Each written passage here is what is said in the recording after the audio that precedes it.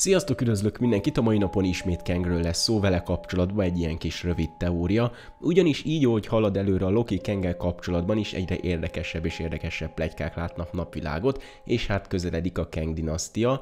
Hogyha az első premier marad, akkor már csak másfél év lenne, vagy annyi se a filmig. Most kicsivel több mint két és fél év van, és még annyit fontos leszögezni, hogy ez csak teória, aminek a személyes véleményem szerint nincs nagy realitása, de mégis érdekesnek tartom, szóval néz. A Marvelek ilyen téren picit érdekes. Minden projektbe, amiben fel fog tűnni a karperec, oda alap dolog lesz plegykálni Kenget, és nem véletlen, mert millió apró utalás van erre elrejtve korábban is, és most például a Lokiban is kaptunk rá. És népszerű plegyka az is, hogy a Marvelek egyik stáblistás jelenete arról fog szólni, hogy Kang a karpereceket fogja keres. Ebben a teóriában is ez van a középpontban, viszont nem ez az érdekes, hogy keresni fogja, hanem az, hogy ki illetve melyik variáns fogja keresni. Kang a hódító fogja, azonban nem az, akire gondolnánk. Itt válik csak igazán érdekessé a teória, ugyanis ez szerint egy másik Kenga hódítóról van szó, mint a hangya 3. Ugyanis ez szerint, akit ott láttunk, az nem a tényleges hódító, aki a multiverzumokat hódítja, hanem egy másik lázadó variáns,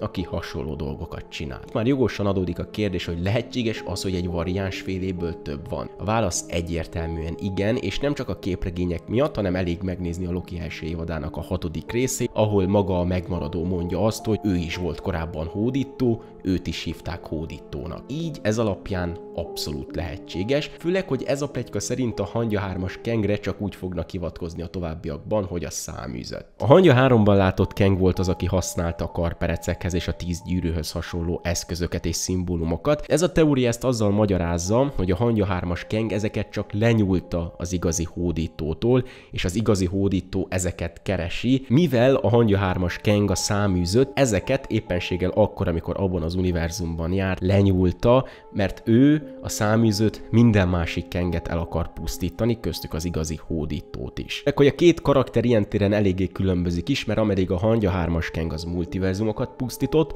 addig ez a tényleges hódító nem elpusztítja azokat, hanem uralma alá hajtja őket, azaz meghagyja a multiverzumokat, csak ő uralkodik rajtuk. Igazából ennyi, ez csak egy teória, ami szerintem érdekes, de nem látom sok értelmét, bár tény, hogy sokkal jobb lenne, hogyha a hódító ilyen keménynek tűnne, mert a hangyárom ezt eléggé elrontotta. Viszont sokkal hitelesebb forrásokból vannak plegykák arról, hogy az a hódító vissza fog térni túlon túliként, tehát ő is extrém erős lesz, de ilyen teóriák is vannak, mondom, ez tényleg nagyon minimális kis plegyka, szinte semmi esély nincs rá, hogy megvalósul, de azért érdekes, kommentben mindenképp írjátok le, hogy ti mit gondoltok erről, köszönöm szépen mindenkinek a figyelmet, ha tetszett a videó, nyomjatok egy lájkot és iratkozzatok fel, további szép napot!